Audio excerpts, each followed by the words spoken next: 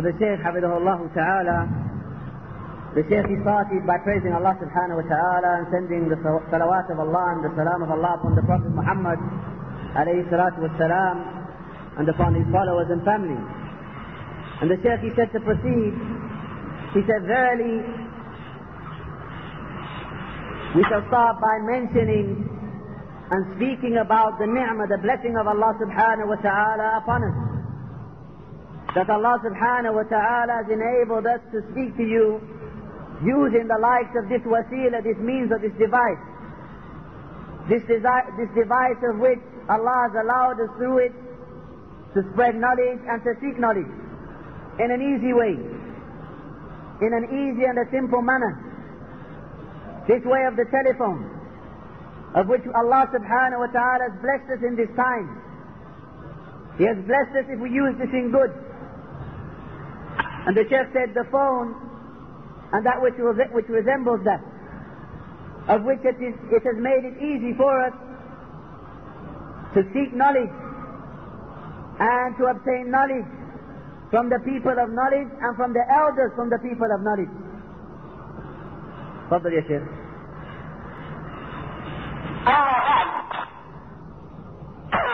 هذا الموضوع وجوب الاعتصام بالكتاب والسنه مهم جدا في حياه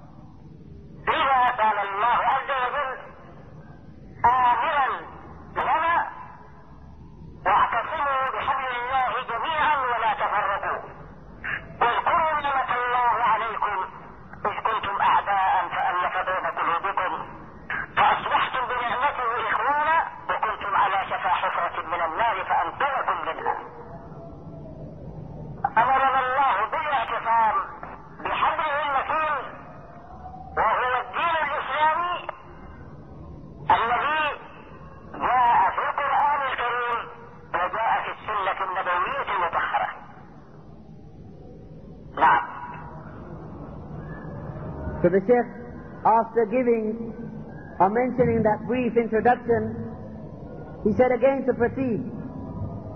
He said this subject, the subject of al-i'tisam, holding on to the book of Allah and the sunnah of the Prophet sallallahu alaihi wasallam, is important in the life of the one who is mukallaf, meaning the one who has intellect and has reached puberty. And it is beneficial in general to the Muslims, all of them, and specifically to the students of knowledge. The Shaykh said happiness and success and savior from the punishment of Allah subhanahu wa ta'ala occurs by holding on to the book of Allah and the purified sunnah of the Prophet sallallahu alaihi wasallam. As Allah subhanahu wa ta'ala commanded in His book, and hold on to the rope of Allah and do not be divided. And remember the favor of Allah subhanahu wa ta'ala upon you when you were enemies and Allah subhanahu wa ta'ala joined your hearts. And you were upon you were close to a pit from the fire, and Allah subhanahu wa ta'ala saved you from this. The Shaykh said Allah commanded in this ayah to hold on to that firm and that strong rope, of which is the deen of Islam, of which is the book of Allah, the Quran, and the sunnah of the Prophet sallallahu alayhi wa sallam. تفضل يا شيخ.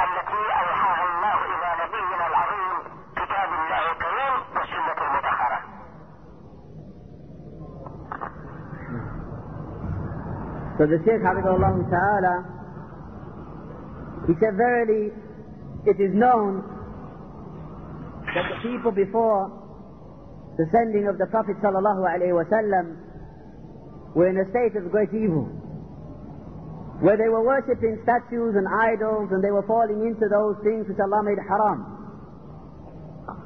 So Allah subhanahu wa ta'ala had mercy upon the ummah by sending the Prophet Muhammad sallallahu alaihi wasallam when when he had reached or entered into his forties in Mecca.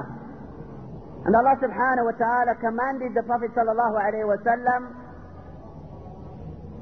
firstly with knowledge. And the Shaykh said no one can guide. It is not possible for anyone to guide except by revelation except by the book of Allah and the sunnah of the Prophet sallallahu alaihi wasallam. So Allah subhanahu wa ta'ala sent His messenger and the Prophet sallallahu alaihi wasallam taught the people. And he mentioned the saying of Allah subhanahu wa ta'ala when Allah said, and Allah taught the people that which they did not know. And when Allah subhanahu wa ta'ala said, Ya ayyuhal mudassir, O you who is wrapped in garments, and other than these from the ayat. The Shaykh said the Prophet ﷺ called the people and the Quran was being revealed. And he said some of the people responded to his call and some of the kuffar, the disbelievers, the mushrikun, they turned away. But the Prophet ﷺ, he never became sad. He never lost hope. Rather, he continued in his call, in his da'wah until Allah wrote for him victory. Until Allah subhanahu wa ta'ala wrote for him victory, and then the people started to enter the religion in crowds.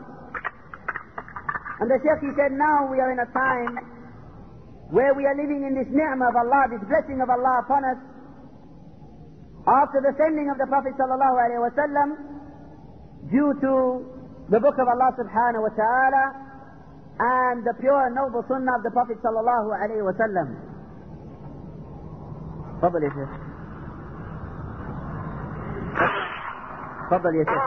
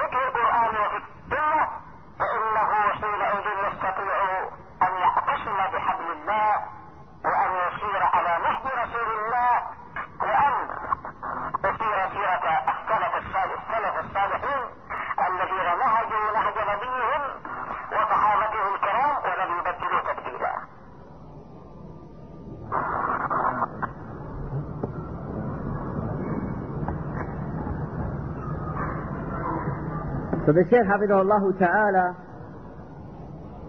he mentioned, he says, so holding on to the book of Allah and the sunnah of the Prophet Sallallahu Alaihi Wasallam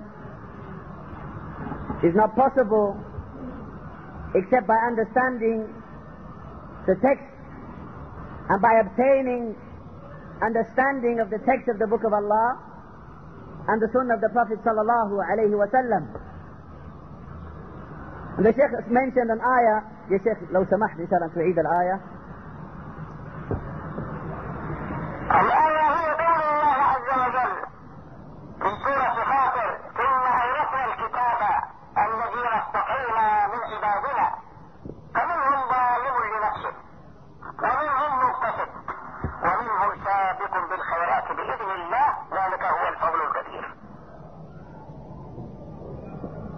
The Shaykh Hafidullah Ta'ala So inshallah ta'ala when the brother finds the ayah, so the Shaykh he continues, so he said it's upon everyone, it's upon each and every one of us that we take and we implement the rulings of the book of Allah and the sunnah of the Prophet sallallahu alaihi wasallam, that we implement them in our lives. So we may possess these noble manners and these good characteristics. And we remove from ourselves the characteristics which are dispraiseworthy. And the Sheikh mentioned that this is not possible except by a person studying and obtaining a portion of knowledge. By studying with the scholars of Ahl Sunnati wal Jama'ah, by studying with the people of knowledge upon the Nahj, the way of the Salaf al-Salih. And the Shaykh he said, if one seeks knowledge and learns, then inshallah ta'ala it's hopeful that Allah will allow him to be upon the way of the Salaf al-Salih and likewise the way of the Sahaba. سلواصل يا شيخ أيها الإخوة الكرام وفقنا الله وإياكم للاعتصام بهذا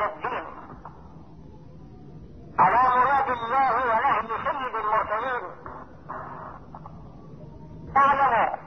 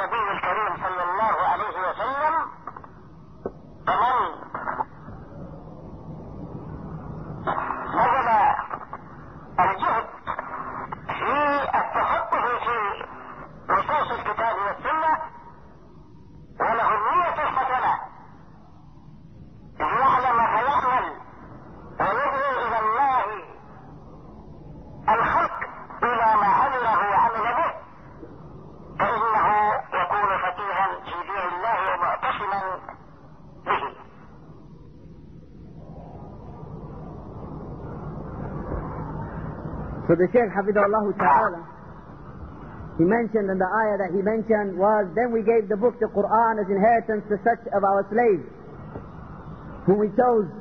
Then of them there are some who wrong themselves, who oppress their own souls, and there are some who are upon a medium course, and there are some by Allah's will who are good indeed. That is indeed a great grace. So the Shaykh Hafidahullah Ta'ala, he continued to mention how to obtain al-i'tisam, holding on to the book of Allah and the sunnah of the Prophet. He said, No, noble brothers, may Allah grant all of you that you are hold on firmly to this deen, the religion of Allah and the religion of the Prophet Muhammad sallallahu alaihi wasallam, and may He allow you to be upright and firm upon this. Know that there is no way to this except by the book of Allah and the sunnah of the Prophet sallallahu alaihi wasallam. The Shaykh he said, have al-inayah concern, great concern with them.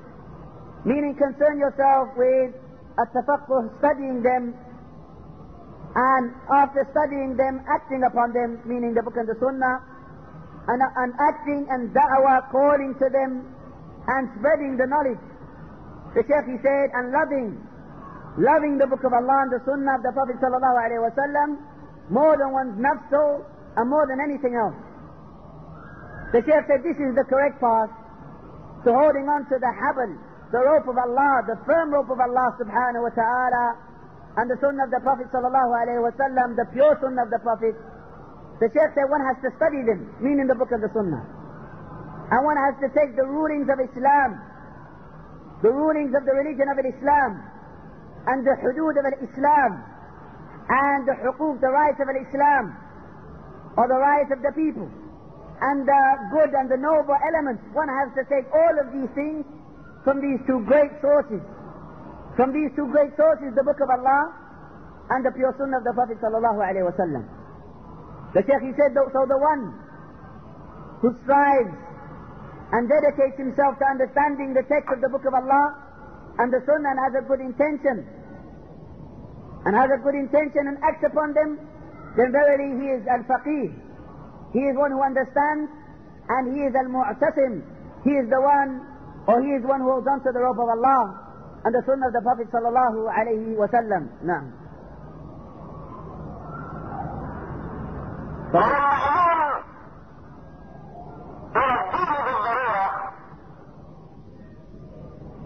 معلوم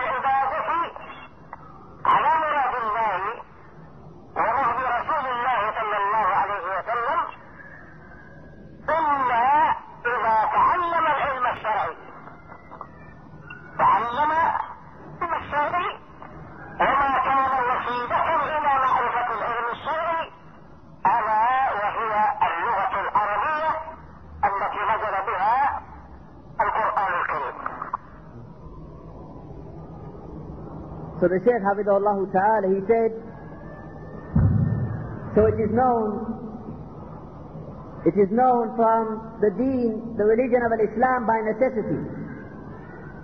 And there are many proofs and evidences which are established concerning this fact. That Allah subhanahu wa ta'ala, He created the jinn and mankind to worship Him alone and to obey Him and to fulfill His commands and stay away from His prohibitions and not to transgress His boundaries and to proceed upon this upon the methodology of an-nabuwah. So the Shaykh he said, this is something known by way of necessity. And he mentioned the saying of Allah, and I did not create the jinn or mankind except to worship me. And I do not seek from them any sustenance or that they give any food, provide any food. The Shaykh he said, so the obligation upon the male and the female, the one who is a slave and the one who is free, all of them were created to worship Allah subhanahu wa ta'ala alone. And the Shaykh said nobody can worship Allah, no one can worship Allah subhanahu wa ta'ala except by learning knowledge of the Sharia, except by learning knowledge of the Deen of Islam.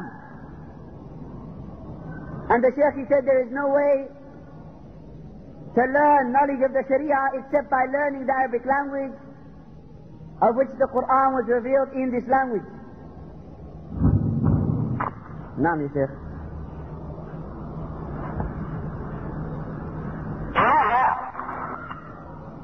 出来了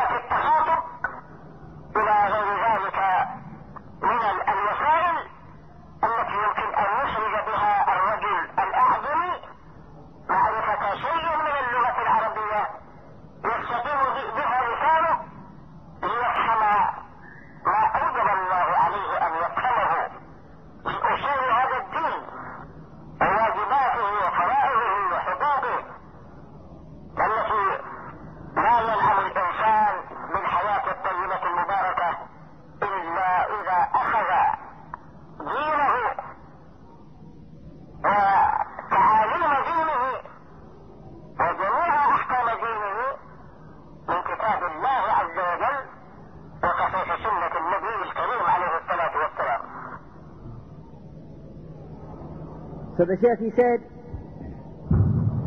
that is why I encourage the attendees and those who are listening and those who this speech or this talk will reach them that we are giving at this occasion that they strive and they give all their effort in learning the Arabic language,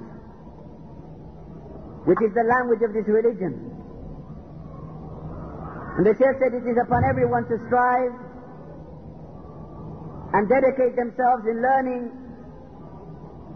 this language. Because there is not an excuse for not learning that which will allow you or which will be a means for you to understand the book and the sunnah. The Shaykh he said you can learn this language by speaking, by learning it from a person when he's addressing you, or by studying it, meaning having a teacher, or the other various means and ways that you can learn the language. The Sheikh said these are ways of which the non-Arab may be able to know something of the Arabic language, which will enable him to speak and it will allow him to understand that which Allah has made obligatory upon him. And the Shaykh said, no. Know that no slave or no one will be blessed with a happy life or a good life except if he learns his religion and he learns the rulings, the ahkam from the book of Allah and the authentic sunnah of the Prophet sallallahu alayhi wa sallam.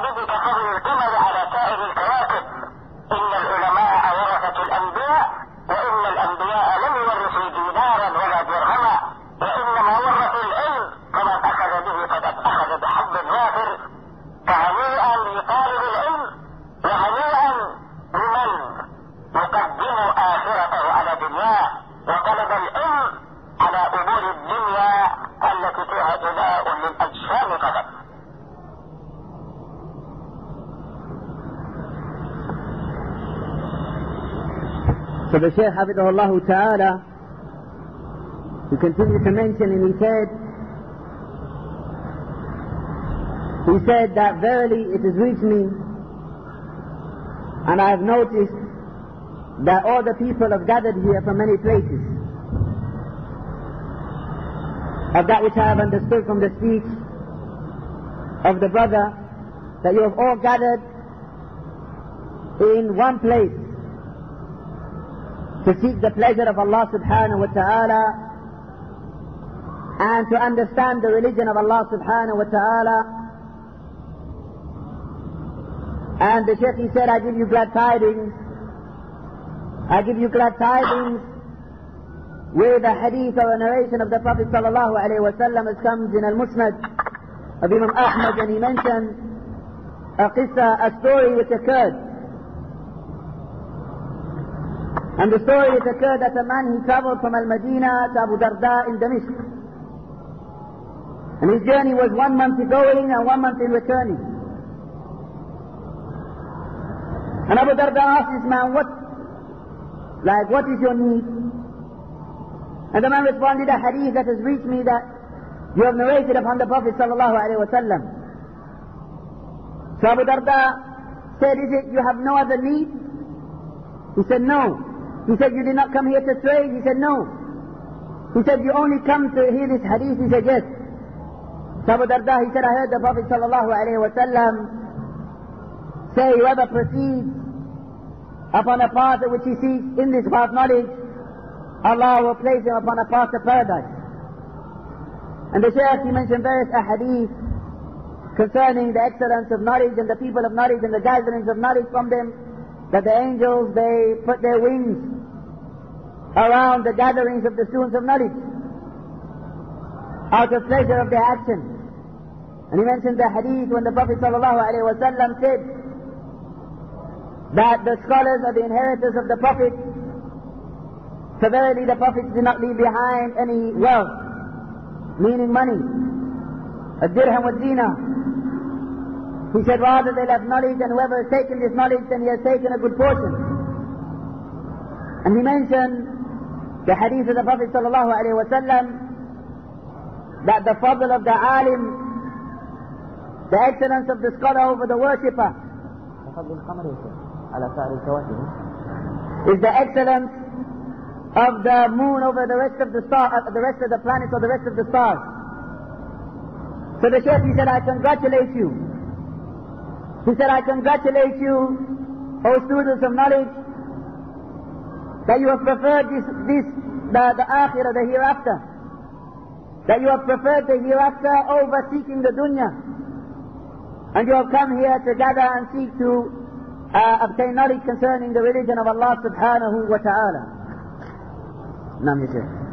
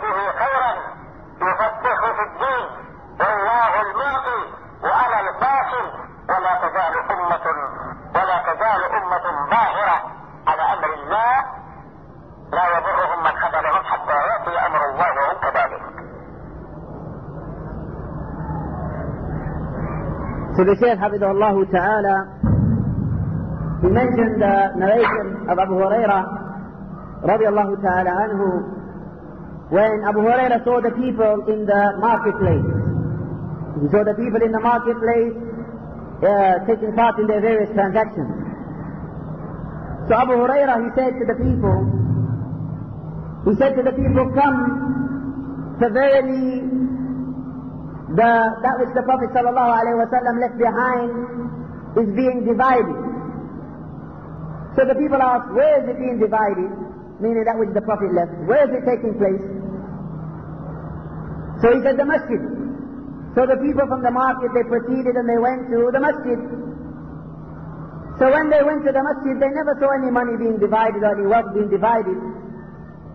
So they said to Abu Hurairah, Abu Hurairah, ask them, what did you see?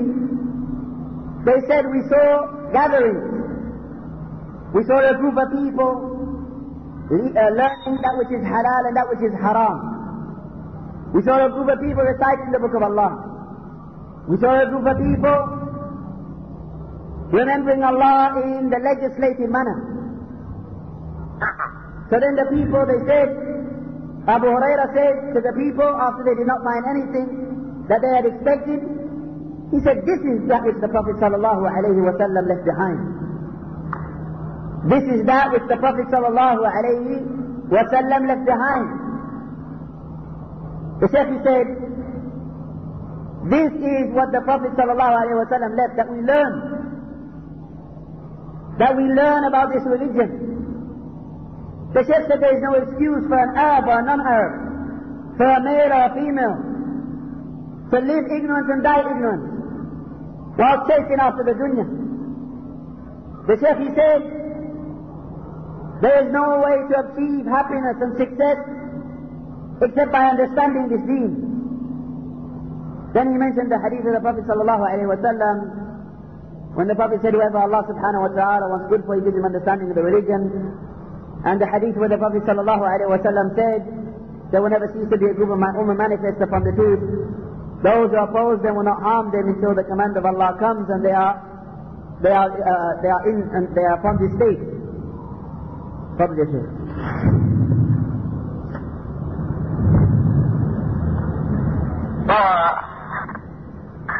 قبل الختام أحب أن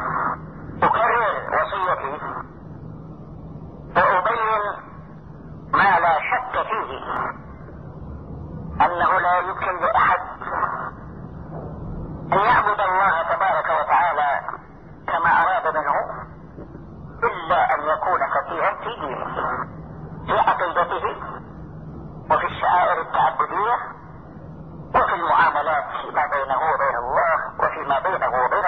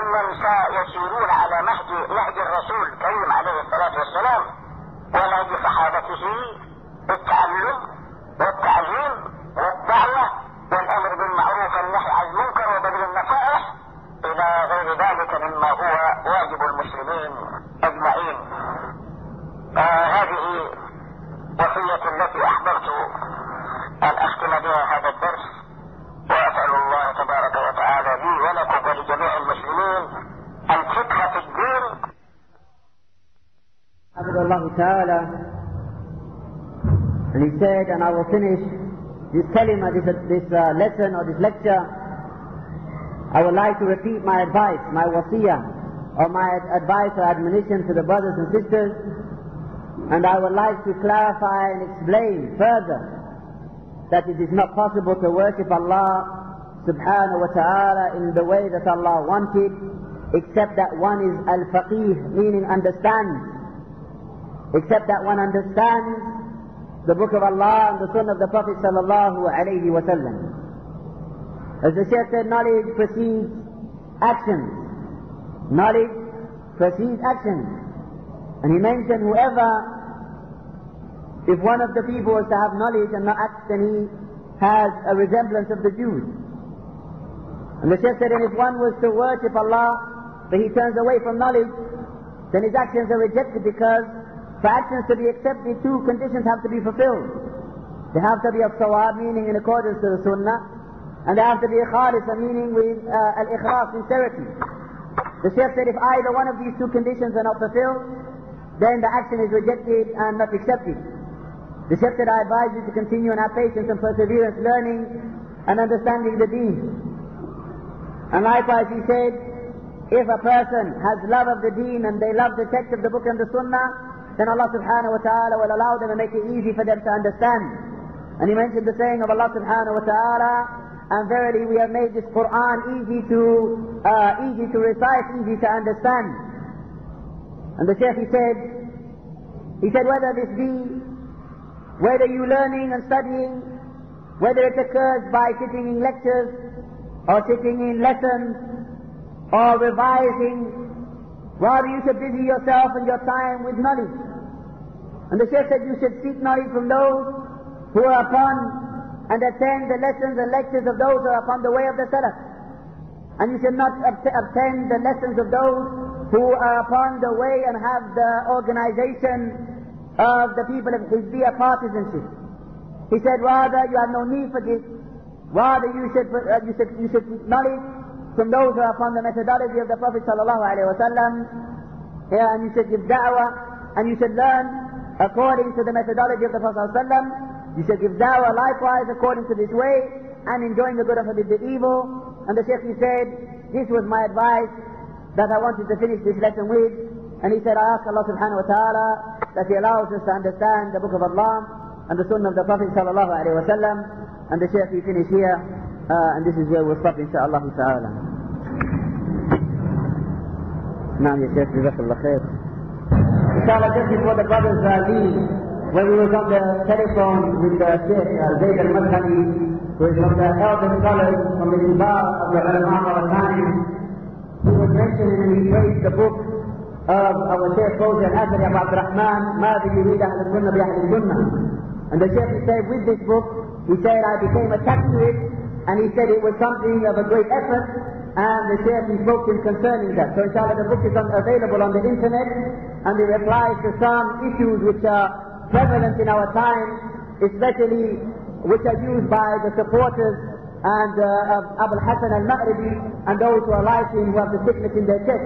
So inshallah those brothers who are able to go to the internet and get the book from Sahab, www.sahab.net, inshallah it's present and you will find it. And Shaykh Ahmed al-Najmi, again from the elder scholars of this era, likewise praised the book and advised the youth to benefit from this book. So inshallah ta'ala that was just uh, a ma'luma that we wanted to share with the brothers and sisters.